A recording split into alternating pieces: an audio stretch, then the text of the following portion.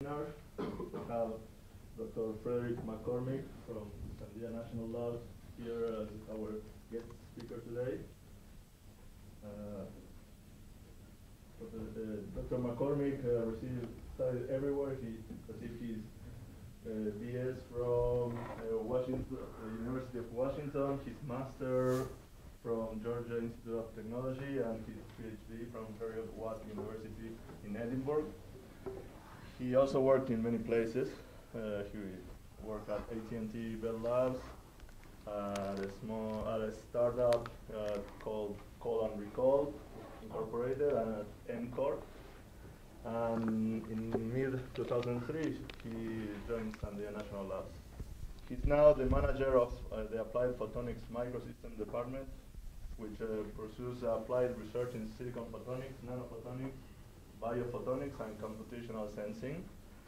And he has published over 80 publications, including book, four books and uh, four book chapters, and 16 patents. And he's now here with us, with us today to speak about uh, photonics micro, microsystems uh, at Sandia National Labs. So thanks for coming. Oh, well, thanks very much for, uh, for having me up. And again, thanks for, uh, for organizing uh, this and uh, the other meetings that I, that I have. And thank you all for coming uh, to, to here. Um, so I will, I will talk uh, a, a little bit about Sandia in general. perhaps some of you aren't too familiar when I, when I go to different places. A lot of folks aren't aware of uh, all the different things that happen at Sandia. And uh, as I'm always looking for good postdocs and good staff, uh, I, I want to advertise a little bit. And then I'll talk about uh, some examples of, uh, of things that, uh, that my group and in collaboration with other folks in the Microsystem Center at Sandia are, are working on in the, in the nanophotonics and nanoelectromagnetics area. Uh, just to acknowledge uh, uh, the, the main contributors. Um, so I, I, manage a group of uh, 17 or 18 folks.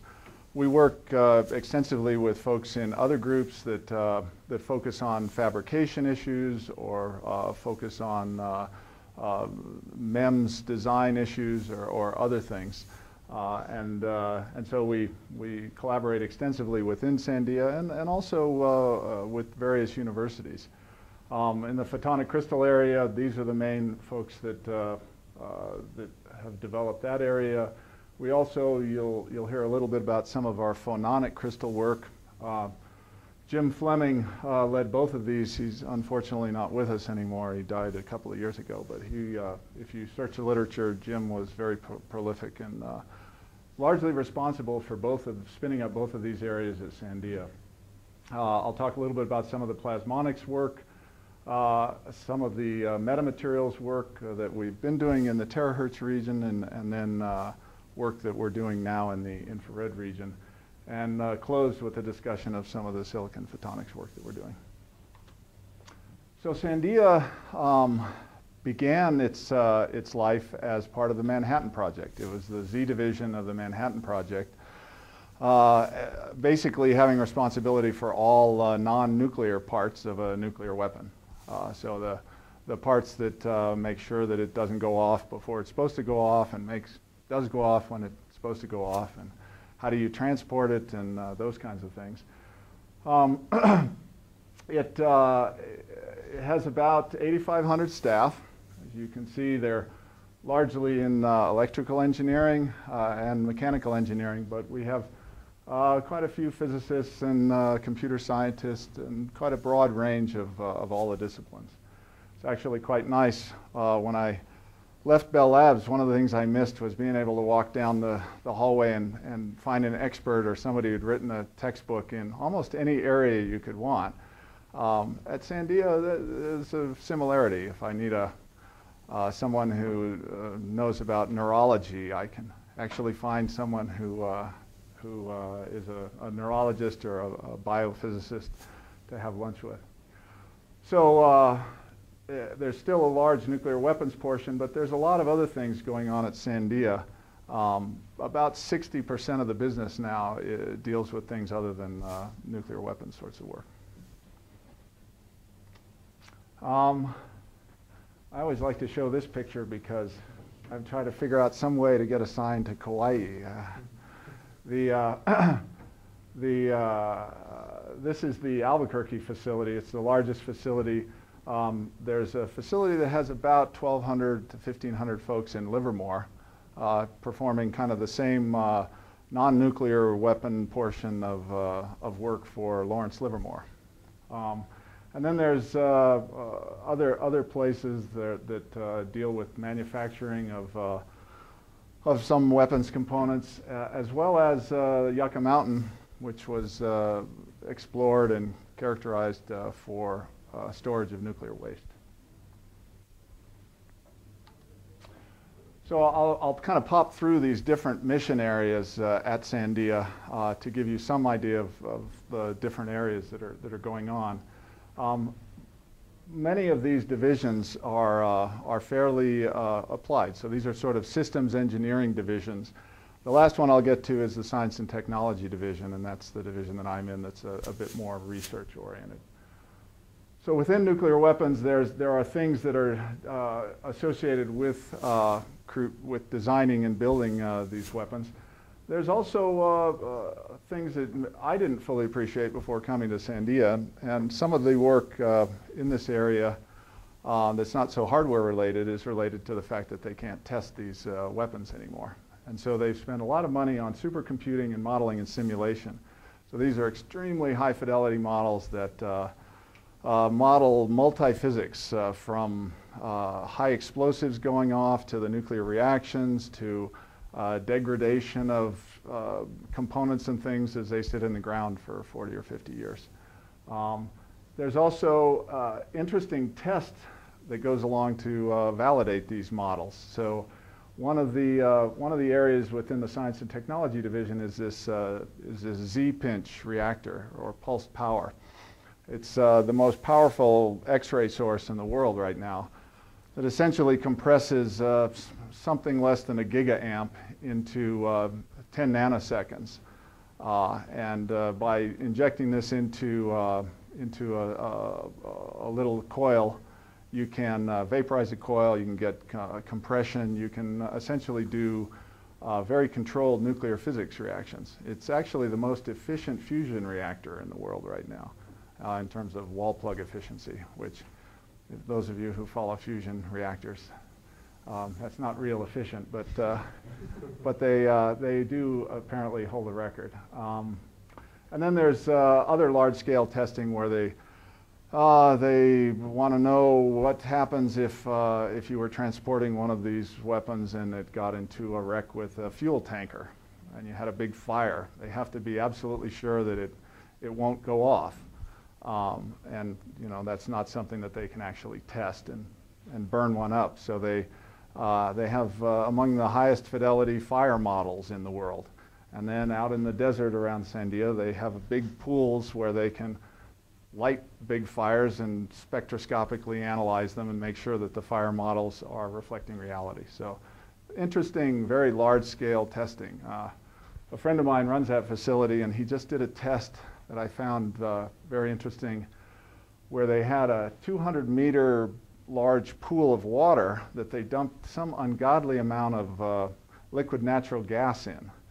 And apparently the test was uh, for, uh, uh for establishing the standoff distance for first responders for uh, fuel tanker crashes. Because a big tanker with uh, liquid natural gas could leak in San Francisco harbor and the, uh, the, the tugboats or whoever who go to respond need to know, can they stand off 20 meters? You know, what's the dangerous level? And uh, so they, they, they set a whole bunch of gas on fire and measured the uh, emissivity of a gas fire on water, which apparently had never been done before.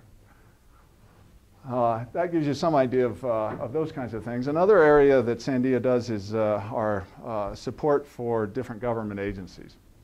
Um, and this is uh, pretty wide ranging uh, from, from doing uh, things like uh, synthetic aperture radar. So I think the best uh, SAR imagery uh, in the world is being done by this group at Sandia now.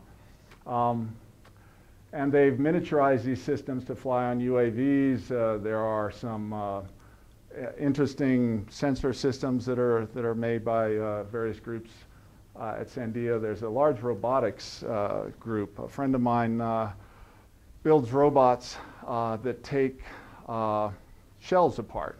So apparently the world is, uh, is swimming in 155 millimeter uh, artillery shells, uh, a lot of which are very old and no longer used. Instead of blowing them up, they actually like to recycle them. Uh, but apparently they don't get a lot of people volunteering for the job of uh, recycling them. So they build, uh, he builds these robots that take them apart and dump out the high explosive and and do other things with uh, chemical uh, weaponry too, apparently. Um, apparently, Sandia has launched more uh, rockets than NASA. Uh, and I think it's part of this program where they, they actually make targets for, uh, for ballistic missile defense. Uh, and so they launched those. my cousin was actually the payload engineer for return to flight on the shuttle.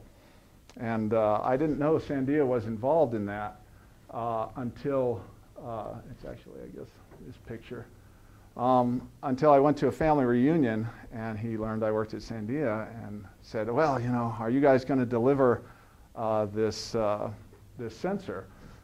It's a sensor that's out on the end of the arm, and it's basically a flash LADAR, a, a, a small-scale flash LADAR uh, system that uh, was used to look at the tiles to be sure that they could actually re-enter and avoid a, a Challenger-like problem. Uh, anyway, so a variety of uh, interesting stuff going on by those guys. And, and again, these are folks that uh, their focus more is on delivering these sort of advanced uh, systems.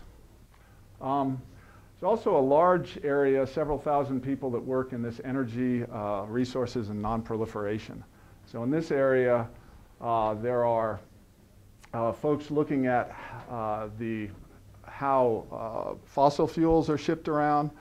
Uh, there's a group now, actually one of my guys in my group, which is, struck me as very strange to begin with, but he's, he's working on a project where they're looking at, uh, at how do you re-engineer the grid to support all the alternative energy that's coming online.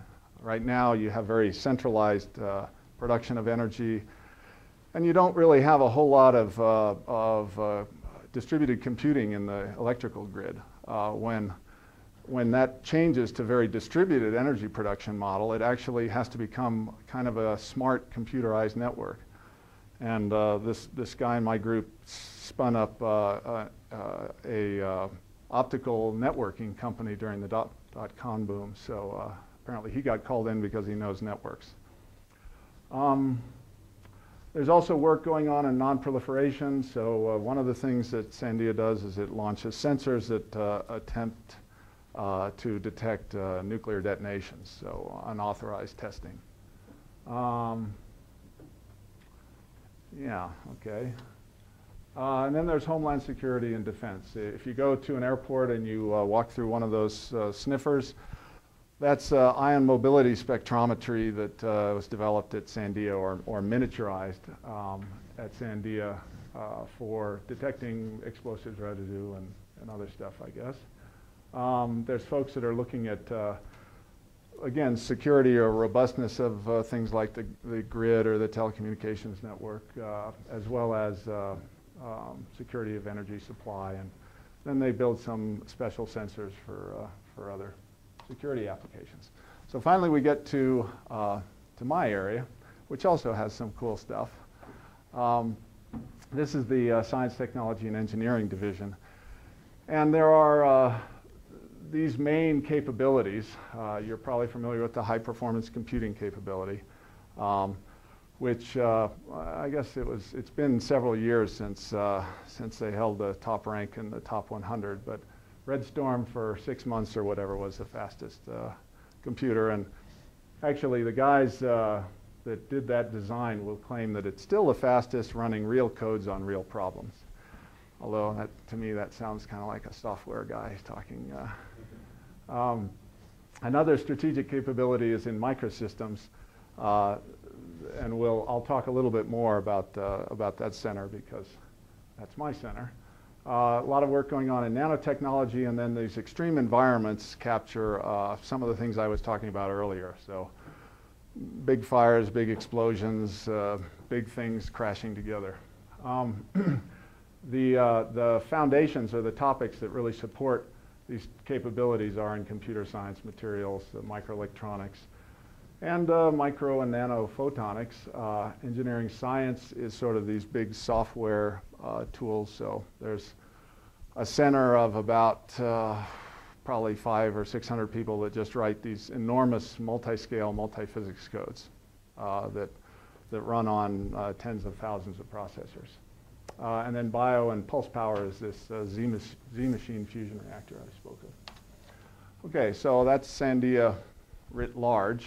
Um, if we drill down a little bit, uh, the Microsystem Center is part of uh, this MESA facility, which uh, is a nice acronym for New Mexico, I guess. Um, this is one of the largest investments by the DOE at Sandia uh, to basically co-locate our silicon fab with our compound, our 3.5 compound semiconductor fab. So these used to be separated by about two miles and re required a lot of hiking back and forth uh, between uh, different folks. They're now in, uh, in basically the same uh, uh, extended building that's about, oh, probably three or 400 meters long that houses a class one silicon clean room and a class 10, class 100 3.5 compound semiconductor fab. And then they built us a nice new building that has uh, uh, lab space to, uh, to play with all the stuff that comes out of the fabs. And I'll, I'll talk about some of those things. Uh, it's co-located uh, on the same general campus with a uh, facility that houses not necessarily the supercomputers, but the, the folks that run the supercomputers. So we have a lot of modeling in there. And then a lot of the system folks, they wanted to mix in with the, with the research folks. So they built them a building and, uh, and then they kind of shuffled the deck and put people all over the place so that we'll get to know each other and, uh, and hopefully transfer some of the advanced technology into these systems more quickly. But it's kind of nice. When I first came to Sandia five years ago, I spent uh, uh, almost two years in a trailer that was uh, placed there, I think like in the 1930s, it's my impression. It may not have been that quite that old, but, uh, and I was told, well, welcome to you know, a government job. Um, so I was very happy uh, after recruiting people and bringing them in, and they'd come into the trailer and say, gee, do I really want to work here? Uh, now we have this nice shiny building, and uh, it's a little easier. Um, so we drill in a little bit more into the uh, MESA fab facilities. This is uh, this microelectronics development lab, uh, silicon fab uh, constructed in the mid-90s. Uh, it was largely built to, uh, to build microelectronics for these nuclear weapon systems and satellites and things that must withstand fairly harsh radiation environments. So lots of effort put into uh, what's called the rad-hard CMOS by process. Um, so there's sort of two ways that you can make something radiation hardened.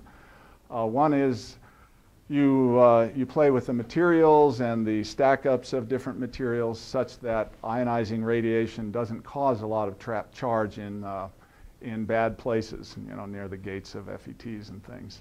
Um, Another approach is uh, called rad-hard by design, where you simply replicate the critical functionality and then have, uh, have things vote. So that way, it's uh, statistically liable to work even in a, uh, even in a radiation environment, up to some level. Um, the, uh, uh, the, the rad-hard by process design doesn't scale to extremely fine line widths. So if you get down to very fine line widths and low voltages, um, boy, very slight amounts of charge, even single events of, uh, of charge can uh, upset uh, the, can exceed the, uh, the voltage margins. And, and so things that have to work in, uh, or things that absolutely positively have to work or have to work in very uh, high radiation environments use this rad hard by process. government has a, a number of those kinds of applications, so they maintain this facility. Fortunately, uh, that's not a high volume business. So uh, this facility is kind of unique in terms of uh, CMOS fabs in that it, uh, it ships product. And so there are, you know, with a typical product, there are a lot of reliability constraints. Um, yield and reliability are actually tied together. And so, uh, so you need to have a, a well-run production fab in order to meet those requirements. So uh, all the tools are under statistical process control and there's computer tracking of all the lots and the steps and everything.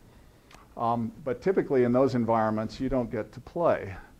Uh, a typical fab manager, once they're yielding, uh, you, you, know, the, the researchers, they don't allow PhDs within 50 meters of the fab usually. Uh, so uh, this is a little bit different and actually has uh, PhDs and master's folks on the tools. And they get to play a lot. Uh, so this, this ships rad-hard microelectronics. Um, Sandia has probably the most complicated MEMS process. Uh, I think well, they licensed it to uh, Fairchild, uh, a five-layer process, but they routinely make uh, MEMS with seven or nine or, or even more structural layers. And these are where the, the funny pictures of these very complicated Swiss watch gear uh, constructions come out of. Um, Additionally, uh, we've, we've used this fab to make silicon photonics, and I'll talk uh, about uh, some of that work. The photonic crystal work uh, is done in this fab, as well as uh, microfluidics, the ion trap foundry for quantum computing with, with ions is, comes out of Sandia. There's work, a large project going on now to make silicon qubits for quantum information processing. So lots of wacky stuff done on the silicon side.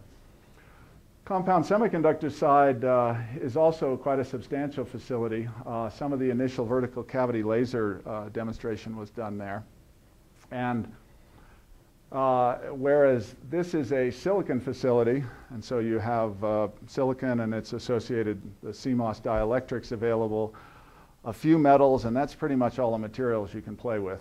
We have germanium in there now, but uh, there's not a lot of uh, material variety. On this side of the house, the gloves are really off. Uh, and so pretty much, uh, I think there are six or seven MOCVD reactors and uh, four or five MBE reactors, and there's pretty much anything grown uh, except uh, compositional materials like mercad telluride. So anything from ultraviolet gallium nitride sorts of materials up to I think some of the longest uh, or longest wavelength quantum dot materials. Uh, I think they're growing quantum dots uh, that uh, uh, have PL at four and a half microns or something. Um, so uh, some RF electronics, high-powered transistors, terahertz lasers and QCLs are made there. There was a project working on terahertz transceivers so heterodyne receivers as well as the lasers. Um, strained superlattice, uh, long wavelength focal plane arrays. There's also a capability to do uh, LIGA or uh, deep X-ray uh, lithography. Um, and then uh, we do some metamaterials and plasmonics, and I'll give you some examples of that. This is just sort of a, a few examples of uh, the different optics things that are made there. Um, I mentioned the photonic crystals and silicon photonics. Uh, there's some uh, germanium uh, APDs, avalanche photodiodes, and single photon uh, avalanche detectors, as well as uh, apparently I'm seeing from some of our quantum folks, you can use similar structures to do ion detection um, or single ion detectors. Uh, there's a, a, a fairly large group of ex-UC uh, Santa Barbara folks that are making photonic integrated circuits in gallium arsenide and indium phosphide. Um, there's also uh, capability in diamond turning and a lot of uh, e-beam lithography capability. So lots of uh, diffractive and subwavelength uh, optics as well as uh, some novel micro optics. Uh, this, is, this is a diamond turned element done in kind of a unique way with a, uh, uh, a non-spherical mill, kind of like an overhead mill on a diamond turning mill, which is a little bit weird. Um, way to do diamond turning. Uh, optical MEMS, this is a kind of an interesting uh, structure uh, that's made via surface micromachining, but this mirror array, the mirrors have uh, 27 microns of stroke, which, um, if you're familiar with optical MEMS, is kind of an astonishingly large amount of stroke. And then metamaterials plasmonics, and I'll, I'll mention more about that. One last thing uh, is a, a, facility called the Center for Integrated Nanotechnologies. A, a few years ago, DOE spun up um, five of these centers uh, in different sorts of areas. Some of them are uh, focused more towards bio applications and things. The, the uh, center uh, here in, in New Mexico actually is kind of unique in that it combines a facility at uh, Sandia with uh, a somewhat smaller facility at Los Alamos. And the main thing there is to uh, uh, push nanotechnology more towards platforms. So they're trying to integrate um, different uh, scientific areas of, uh, in nanotechnology to, to sort of raise the technology readiness level or bring it more into practice. This uh, facility actually has, uh, well, they're, they're, doing work in nanophotonics, in uh, nanoelectronics, in uh, some bio things, and then sort of theoretical work at the nanoscale. Um, twice a year, there's a call for proposals. Um, and uh, before the professors in the room get excited about uh, potential funding, they don't actually provide any funding. What they provide is access to this facility. Uh, which is quite a substantial facility in terms of uh, nanofabrication capabilities as well as uh, nano characterization. So there's, uh, again, lots of E-beam, uh, electron beam microscopy, there's STM or SEMs and TEM capability. there's a lot of nanofab and nano testing capability in, in these two facilities. And if, you, uh, if your proposal is accepted, you basically get access to all of that for free. Now, you still have to send a student or somebody to do the work. They get to, but you essentially get uh, someone to run the tools or a CINT scientist to work alongside the student for free. So, pretty good deal. Uh, and the website's there if, uh, if you want to learn more. Okay, so uh, by the way, feel free to interrupt me if you have a specific question, if I touch on something that you're interested in. That's, uh, so that's the God and motherhood of Sandia. Um, I will uh, touch on uh, a, a, few of the, uh, of the uh, projects that are going on in my group or associated with my group. Um, and I'll start with photonic crystals. So Sandia's been working on photonic crystals for hmm, upwards of 10 years now. Uh, the, uh, the main uh, thrust of this work has really been on, on uh, full bandgap 3D photonic crystals. So 2D photonic crystals in suspended membranes have been pretty well explored. Uh, those of you who are familiar with uh, this area you have to make those holes extremely well in order to uh, uh, limit the out of plane radiation and the losses and things. Um, so most of the work that we've been doing is concentrated on uh, 3D photonic crystal structures uh, that uh, have somewhat better control of, uh, of some of the characteristics. Um, a lot of the initial work was done using a, a Damascene process. So it's basically well, I'll discuss it a little bit more later. It's a layer by layer process that uh, allows you to build up uh, very complex structures. And we've explored most of the uh, published uh, structures using this technique. It, it, basically leverages a lot of the, the uh, technology developed for MEMS. That's led to uh, being able to fabricate quite large areas. a lot of the work in photonic crystals are millimeter sorts of areas. Uh, we routinely fabricate stuff on 6H wafers, and if you stitch reticles together, you can get uh, nice large areas. Uh, it's done in a CMOS fab, so it's not incredibly cheap doing it this way, but it's very reproducible and, and high precision. Um, and those of you that are familiar with photonic crystals will know something about, uh, about why we're interested. They allow you to do very high energy confinement. Um, you can build things that have uh, quite broad uh, optical characteristics in terms of angle and spectral response.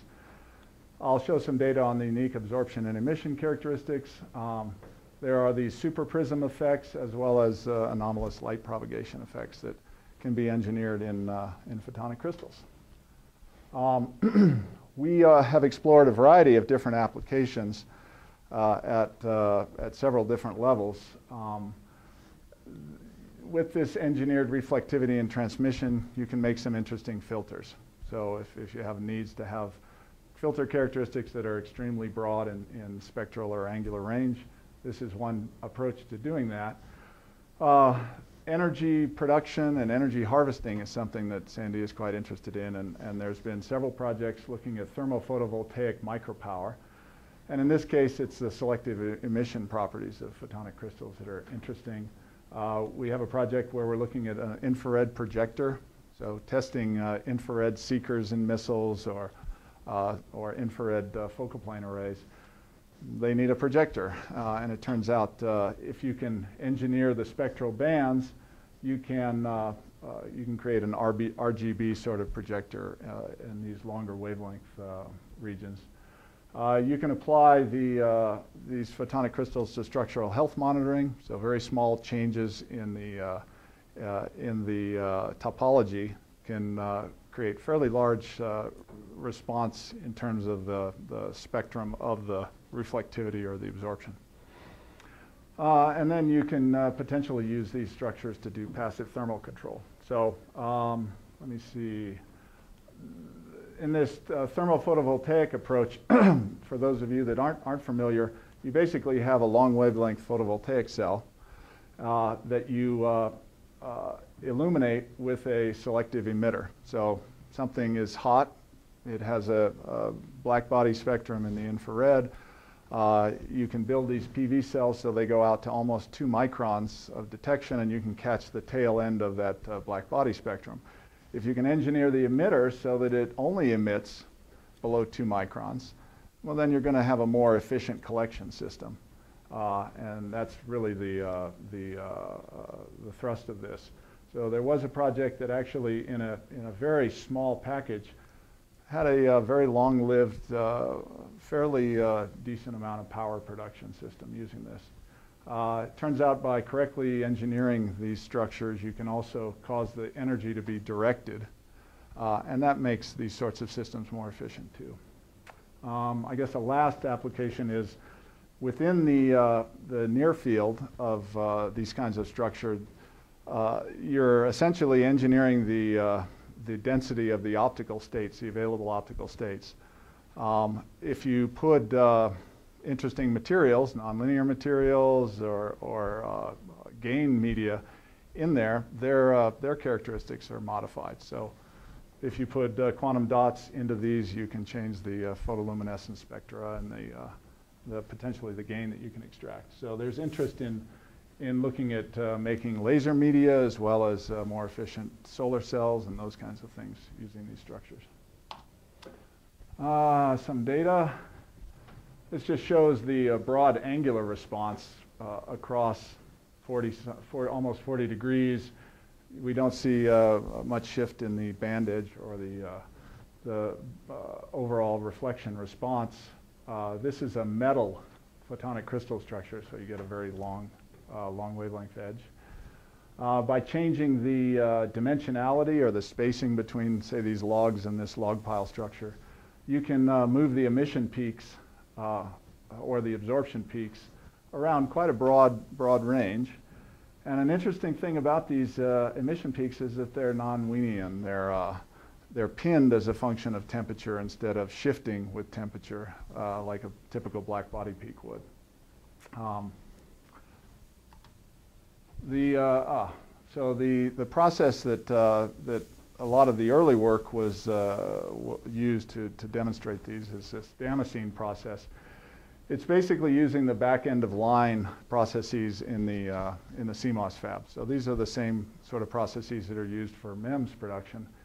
Um, what's uh, somewhat unique is uh, the ability to do extremely thick layers of uh, extremely stressy materials. So people who are familiar with uh, fabrication uh, will probably wince if they see 50 microns and tungsten in the same sentence. Uh, it's typically potato chips, wafers, and, uh, and, uh, and then when, uh, when it's released, the things go sprawling and uh, scatter about the fab. Because of a lot of experience in, in chemical mechanical polishing and annealing techniques, they've been able to come up with processes that, that allow them to put down many, many layers of tungsten to get these large thicknesses and keep the wafers flat and not have them, uh, not have them uh, fall apart once the, uh, once the oxide is removed. um, we've looked at other approaches uh, to, uh, to making these 3D nanostructures. And this is, this is one that's, that's matured relatively nicely. I also like to put it up because it's a good example of a, of a fruitful university collaboration. Uh, this was with John Rogers' group at Illinois. And uh, he, he demonstrated, uh, he was one of the places that has been looking at uh, interference lithography uh, done with, uh, with diffractive masks. So this is getting to be relatively popular now. There's probably six or seven groups around the world that are exploring this. The basic idea is in, instead of setting up an optical bench and bringing in lots of different beams to interfere and create a, essentially a hologram uh, that would be subsequently developed to create uh, fine structure in a photoresist, uh, you can set up a phase mask that will produce diffracted beams and, and do this in a uh, sort of a contact approach, a near field approach. Um, he had, his group had demonstrated some uh, millimeter, several millimeter sized areas, and, and basically we worked uh, with him to scale it up to a larger process that uh, was a, a, bit more robust and put some modeling around it to do some predictive uh, calculation. Part of the problem is if you have a given structure that you want to create, you need to know what, the, what does the mask need to look like for uh, a given uh, wavelength of illumination and collimation of the wavelength of the light and exposure characteristics of the photoresist and, and things like that. Uh, but this work proceeded over three years and, and it's resulted in a relatively robust process um, where a variety of different uh, structures can be fabricated by back calculating what the required mask is and then exposure either on a uh, a mask aligner with a filtered source or with a laser source. What is the function of the structure? Um, well, variety actually. Uh, so this is, I think this was one of the first demonstrations of a, uh, a direct large area exposure or creation of a Penrose quasicrystal, which has some nice, uh, in terms of photonic band gaps, this is a path to getting more uh, isotropic performance out of uh, photonic crystal response um, as well as being theoretically of great interest to uh, modelers, I guess. Um, some of these other uh, structures are of interest for, uh, for their incredibly high surface area. So uh, we have folks that are looking at how do you make better batteries. Um, so high surface area electrodes are of interest.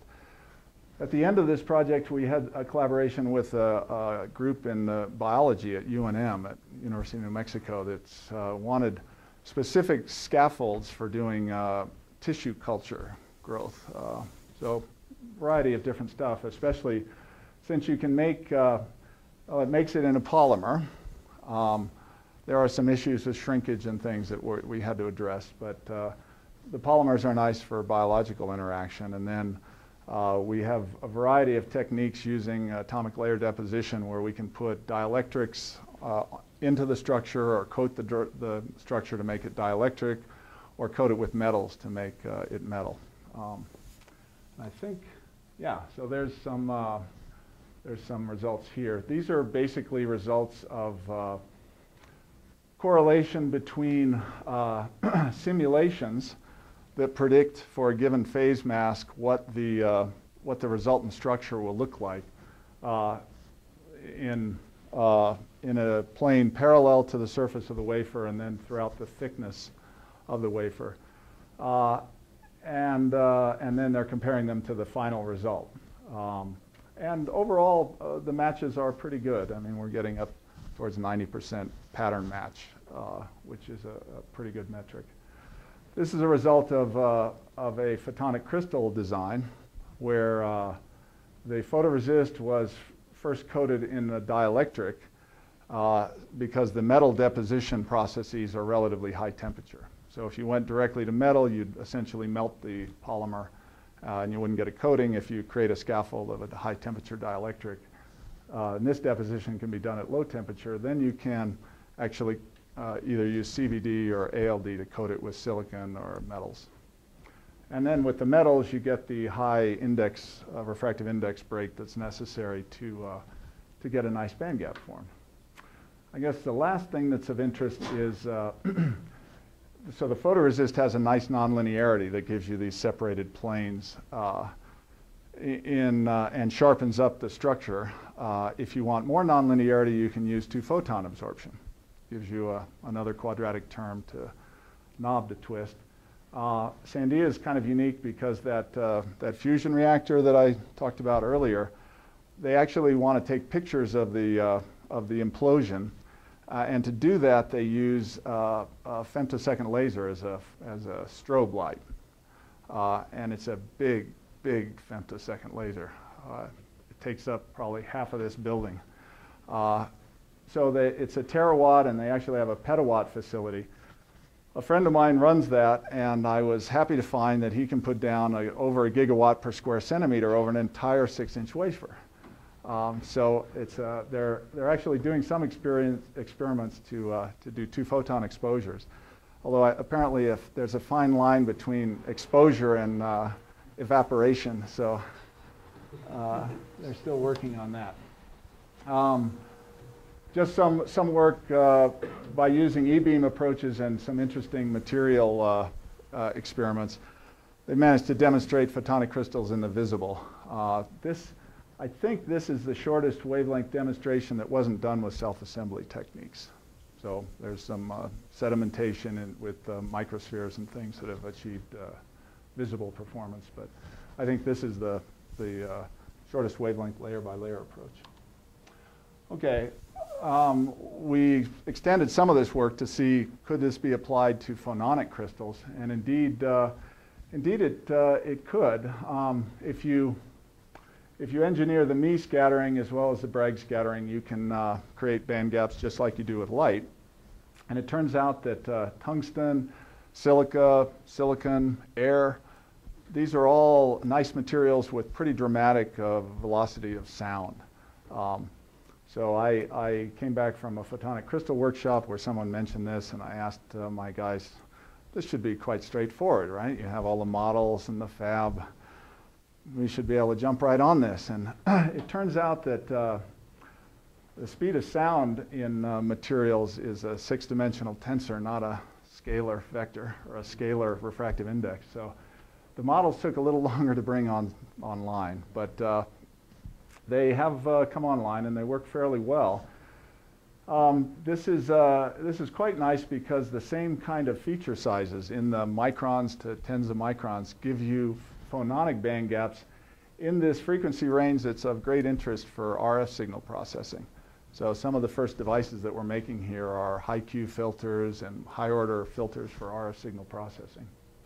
Um, if you scale it up to even higher frequencies, it's a very nice tool for looking at how phonons interact with materials.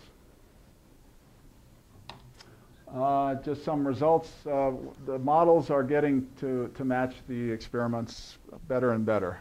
Um, one of the issues that you see with uh, these kind of structures is the sound will bounce back and forth and bounce off of things that you don't want it to bounce off of. And so you get a, quite a bit of, uh, of other artifacts happening that you have to kind of uh, identify what they're coming from. But uh, we're able to create band gaps. I think this is a simulation result, but with these structures, it looks like we can get Qs on the order of 10 to the fourth, which for uh, mechanical effects is a pretty high Q. Um, we have another project that's kind of looking further out at uh, ultra high frequency phonon manipulation. So if you get into terahertz phonons, you can start to think about manipulating the thermal photon, phonon uh, spectra if you can do things uh, like that, then uh, you can start thinking about engineering the heat capacity of materials or, uh, or uh, shielding Johnson noise. So these are kind of science fiction now, but uh, very interesting science fiction. Okay, let's shift gears and talk uh, about some plasmonics and metamaterials. Um, plasmonics, as you probably know, are electron density waves uh, that happen at optical frequencies. Um, and kind of nice, interesting way of enhancing electric field. Um, you can get uh, uh, enhanced nonlinear effects that are useful in biosensing. Uh, there's also this extraordinary transmission and novel emission effects that you can do with plasmonic engineering. Similarly with uh, metamaterials, where you can artificially engineer the permittivity and the permeability, you can do many of these same things, as well as uh, these applications that have gotten a lot of press recently. Um, one uh, experiment that we have going on in plasmonics is to build uh, the optical analog to uh, uh frequency selective surfaces, which are quite well explored in, uh, in microwaves. Um, if, you, if you scale things down, you can essentially take a, a single layer of uh, metal dielectric interface and make anti-reflection coatings, essentially. and these anti-reflection coatings can perform over fairly impressive uh, uh, angular and spectral bands, which uh, for a single layer is kind of a, a magical effect, I think. Um, so there's a project that's looking at, uh, at doing this at infrared frequencies, and the initial results are, are really quite good that uh, uh, you can bring, this, these structures are fabricated on gallium arsenide substrates because we have a lot of those lying around and they work well in the e-beam system. Um, but uh, you can lower the reflectivity down to the residual substrate reflectivity uh, quite substantially. And considering this is made out of gold, uh, it's quite, a, quite an interesting result. Um, apparently, the codes for modeling this uh, are fairly challenging, surprisingly, uh, for such a simple structure. But getting the codes to converge for this uh, was quite a challenge. Um, we also do work in uh, uh, basically applying these effects to chem biosensing. So one project is looking at uh, anomalous transmission or extraordinary transmission through nanohole arrays. There's a few groups around the world that are looking at this. And by engineering uh, the, uh, these nanohole arrays and then functionalizing them, you can change the dielectric environment around the holes and change the, uh, the transmission. this extraordinary transmission effect um, in a nutshell is that if you look at the area occupied by these holes, you might have, uh, uh, from a purely geometric analysis, a transmission of 5%. If you illuminate this thing appropriately, you can get transmissions that, uh, you know, that go up to 40%. How is this happening? You're exciting plasmons and they run down through the hole and they re-emit. Um, and it's extraordinary. Um, if you, uh, if you functionalize this and then uh, attach the appropriate uh, uh biologic species, it, it, can dramatically affect the, uh, the transmission and shift the resonance. And so it makes an interesting sensor and perhaps one that you can integrate in a very small package. similarly, you can use plasmonic effects to increase the electric field dramatically in small areas and this can cause uh, your Raman signature to, uh, to be as great or even greater than uh, fluorescence signatures. And given that Raman signatures are a lot more discriminating than fluorescence signatures, there's a lot of interest in biosensing. Okay, uh, metamaterials. Uh, we've had a fairly extensive program in terahertz metamaterials for the past few years, um, looking at biosensing with metamaterials, pretty much the same approach as, uh, as I just discussed. There are high field regions that you can functionalize. If you, uh, if you bond uh, to them, you can shift the spectral response. Um, we're also making uh, metamaterials on very thin substrates that you can then stack or you could put into uh, very small regions, so uh, intravascularly or into, into very small tubes. Um, there's also been work at looking at uh, the polarization response of these metamaterials. So terahertz in general is suffering from a lack of optics. Uh, you know, you can buy lenses and beam splitters and polarizers and modulators for certainly uh, visible near infrared and, and infrared uh, wavelengths. These poor terahertz optics guys, you know, they, they don't have much. Um, so uh, we're, our terahertz groups are actually now using these metamaterially designed uh, components to do uh, selective polarization, beam splitting, and different things. And, uh, and recently, uh, there's been work on terahertz modulators. So I think there's a paper that's just come out that uh, details uh, the first terahertz spatial light modulator. It's 25 pixels or something, but it works pretty well. Okay, we, we just started a few months ago a large program in, uh, in infrared metamaterials. And it's basically focusing on these three things. Uh, the first is uh, low loss or engineered loss. Okay, I should start accelerating, I think. Um, we're trying to, to control the loss mechanisms in metamaterials. Um, the other aspect is uh, we're interested in real 3D metamaterials, not just uh, metafilms, um, so many layers. And we're working in the infrared. Uh, there's theory and modeling going on. Uh, that's, uh, again, looking at our high performance computing environment. So we're trying to do uh, very high fidelity uh, designs. Uh, the material science aspects are looking at dielectrics instead of metals as well as composites and metals still. Uh, and then uh, we're using a variety of uh, fabrication techniques and building some, some very novel metrology to measure both amplitude and phase. the work's just started, but there was essentially a scaling of one of our terahertz designs that was fabricated and, uh, and measured. And actually, some of the measurements are, are novel. It's, I think it's the first time that uh, some scatterometry has been done on these films. Okay, the last thing uh, that I'll blow through quickly are, are, some of our silicon photonics projects. Most of uh, this work uh, is basically a scaled version of WDM networks, so wavelength division multiplex networks as part of a DARPA program, we worked on uh, putting optical interconnects on highly multi-core processors. So the idea here is you have a CW laser source that has lots of different wavelengths. You send it onto the chip, and then you have filters, or you have waveguides that send all of these, these different wavelengths down, and, and filters that pick off individual wavelengths that individual cores can modulate, put back on the bus, and talk to other cores. Um, why would you want to do that? Uh, it turns out that if you want to talk uh, within a chip, it costs you about a picojoule per bit uh, to go, say, 100 microns. If you go between chips, it's on the order of 10 picojoules per bit. And if you look at the physics underlying optical interconnect, uh, the energy requirements are dramatically uh, lower. So uh, you can go on a chip or between chips, perhaps as low as a femtojoule per bit.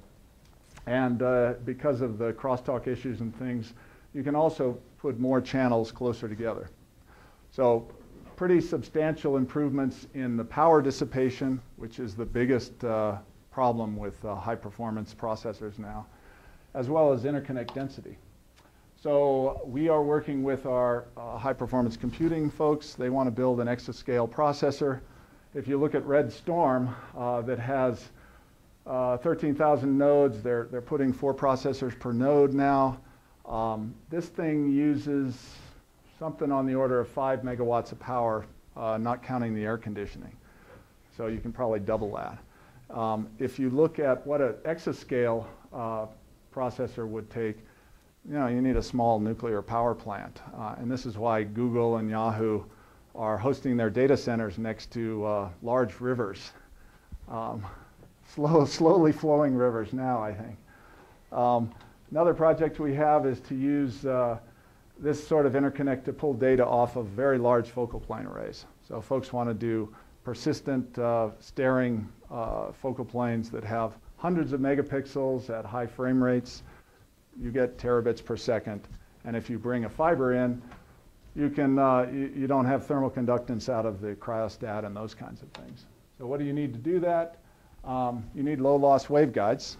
Uh, we have uh, exhibited quite low loss in uh, silicon as well as in silicon nitride. Uh, the loss is the biggest biggest effect that limits uh, achieving high Qs, and this is the easiest way to measure very low loss. So these sorts of numbers, this is, you can get this in industry, uh, but I think this is a, a world record for loss in silicon. Um, you need to make filters. This is pretty well established for a lot of years. You can stack up these micro rings to make high order filters or bandpass filters. Um, you need modulators. Uh, one of the things that we found is that by shrinking the size of these modulators and coming up with novel vertical PN junctions, we could drive the energy required uh, way, way down. Um, this is, uh, I think, the lowest power, highest speed modulator that's been demonstrated so far. Uh, it's working at about, uh, what, 85 femtojoules. Um, and, it, and it works at CMOS compatible voltages. Um, it turns out you can use several of these. This is a second order filter that again is electrically controllable. Um, and I think this is the first demonstration of a silicon uh, bandpass switch, certainly at this scale. Um, you can, uh, if you make them very small, let's see, uh, if you make them very small, the free spectral range is very large, and you can stack up lots of different wavelength channels in this free spectral range and make quite a uh, enormous bandwidth uh, switching network in a very, very small area. So you could put 64 channels on a reasonable spacing, each channel switching 10 gigabits per second. You start to get these uh, many, many terabits in the size of a bond pad in a conventional uh, electrical chip. And these, uh, these numbers are really quite, uh, quite impressive. A low drive voltage, this sort of uh, power penalty for, for those of you that are familiar with uh, telecom switching is, uh, is quite competitive. And it's made out of silicon, which is always a plus. Um, a couple of other programs. It turns out when you shrink things down extremely small, the thermal optic effect, especially in silicon, uh, is also relatively low power and happens quite quickly. So we have a project that's looking at building thermal phase shifters that have uh, microsecond sort of response time, so several orders of magnitude faster than uh, conventional ones, and that take uh, very reasonable amounts of power. Uh, so this is quite competitive for, for doing phase modulators or very large dynamic range uh, filter tuning and that kind of thing. You can apply a lot of these effects uh, to a collaboration that we have with Franz Kartner where we're taking, uh, he's got an experiment that's locking a microwave oscillator to a femtosecond laser, and uh, we think we can integrate that. One last thing uh, is, uh, is turning a bug into a feature. Uh, these microring resonators, it turns out, are very temperature sensitive. They're very high Q, you, you change the temperature and the refractive index change with temperature in uh, silicon nitride or silicon is fairly sharp. So these interconnect approaches need to be temperature stabilized or otherwise athermalized. If you exacerbate that problem by sticking it on a pedestal of, of oxide or something else that's highly insulating, you can actually get quite a good temperature sensor. And this is what a bolometer is, essentially. So if you do the math, it, it, actually looks like this approach can come very, very close to the performance of cooled Mercad telluride, which is sort of the gold standard for infrared uh, photo detection. Uh, and it's uncooled, and it's made out of silicon again. Um, so uh, we've demonstrated performance exceeding the best uh, bolometers, uh, uncooled bolometers now, and are pushing, trying to push the detector performance down to this theoretical limit. Uh, if you use conventional scanned wavelength WDM techniques, uh, you can imagine scaling this to uh, large arrays of pixels, which uh, might also be of interest uh, because it's made of silicon instead of Mercad telluride, which uh, is sort of the, the worst possible material that you could, you could love. Um, and it has to be bump bonded and things. So that's an interesting project. Uh, that's just uh, uh, a nice summary. And let me close with this. Uh, hopefully you got a little better feel for the breadth of things going on at Sandia. Um, we apply a lot of scientists, or we employ a lot of scientists and engineers, and uh, we're, we're always looking for more. Um, a lot of positions require citizenship. Um, right now we are under a hiring pause although uh, I can still hire postdocs. Um, But, uh, but please, uh, if you have any questions or you have an interest, uh, contact me. Thanks.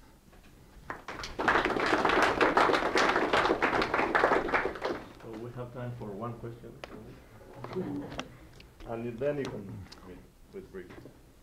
Sure. So, no offer for the only question.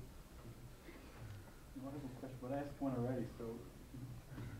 Okay, uh, on that, uh, last, uh, well, two slides ago, you showed that, um, um, silicon, uh, microbolometer, Mm-hmm. and you mentioned that, okay, it's better because it's made out of silicon, but, uh, it's a very complex silicon process. How that compares to the state-of-the-art, cool, uh, mercury cadmium telluride process? So uh, the the the Mercad Telluride's a direct de- detector. It's uh, compositionally graded to get the band gap at the appropriate place. So it's uh, it's grown with MOCVD, I think. Um, not a trivial process. Uh, had probably a billion dollars or more invested in it. Uh, so it's a fairly mature process the growing the detectors is part of the issue. The other issue is that uh, this has to be bump bonded onto a readout integrated circuit, a ROIC. Um, and uh, the largest, uh, so Sandia commissioned the largest uh, infrared focal plane that's been demonstrated so far, I think, that's uh, 4K by 4K. And uh, apparently, I, was, I wasn't involved in that, but apparently that was a very pa- painful development process, costing tens of millions of dollars uh, simply to get the uh, enough material so that you don't have a lot of dropouts and all the bump bonds and interactions apparently with the ROICs. Uh, it's, you know, it's a mature process, uh, but it's, it's not a trivial process. Um, and one of the things I've noticed with the, with the silicon photonics and the, our silicon phononics, silicon's a great material system to work in because uh, you know what, in the last 30 years, there's probably been $200 billion spent on learning the materials and optimizing the tools and optimizing the process and uh, training all of these people to be uh, incredibly anal retentive in terms of uh, uh, in terms of optimizing processes. So it's great when we're making this stuff because you know, designs don't always work. Uh, and then you have a question of was it the fabrication error, was it a design error? And uh, a lot of times you have people pointing the fingers. In a silicon fab, that doesn't happen too often because they take incredible metrology at every step. And so you can go back in and say, well, there were SEMs taken at this layer deposition. You know, you know, we made a small mistake. Uh, so the design uh, feedback loop closes very quickly and things mature. So uh, personally, I think if you want a 100 megapixel array in the infrared, I don't know that you'll get there with uh, Mercad Telluride, um, but it would be, uh, you know, uh, a fraction of a wafer, and people make, you know, full wafers with extremely high yields in silicon. So to me, that's, uh, that's a pretty powerful uh, inducement. Thanks Rick and thank you everybody. Thank you.